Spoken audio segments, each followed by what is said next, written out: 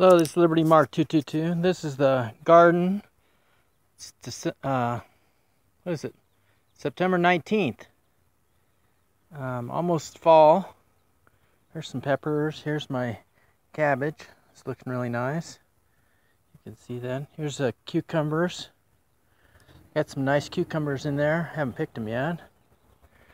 Uh, here's my cherry tomato.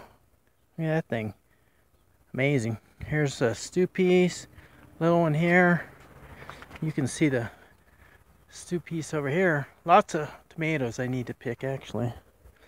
Uh, here's the here's the uh, peach tree, and here's Boxcar Willie.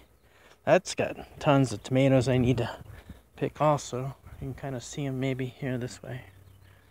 Here's my Roma tomato. Look how tall that thing is. Unbelievable.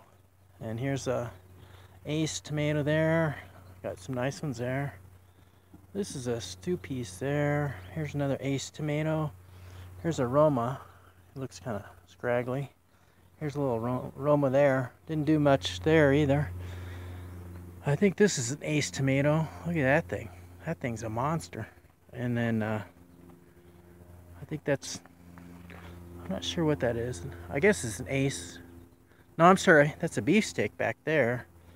Here's a, there's an ace here. Look at the size of that one there. I think that's a beefsteak. Look at the size of those tomatoes. I mean, that's massive. Massive tomatoes. This one's, uh, you can see my Roma.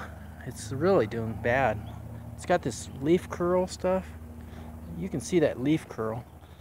Here's um, a Stupice, and I think this is a beefsteak here. There's another beefsteak in the back there. That one looks really nice there. And I think this is a beefsteak too. You can see how big those tomatoes are. They're just outrageous. This is Liberty Mark 222.